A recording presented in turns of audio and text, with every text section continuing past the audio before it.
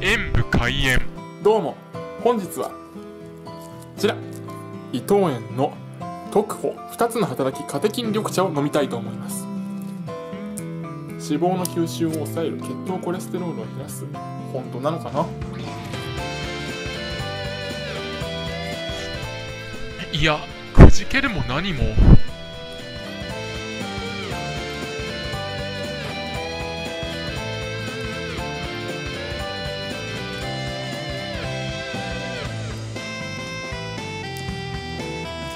効能があるのかどうかは正直分かりませんが普通にちょっと苦めの緑茶で飲みやすくて美味しかったです。効能あるといい。ご視聴ありがとうございました。コメントしていただけると嬉しいです。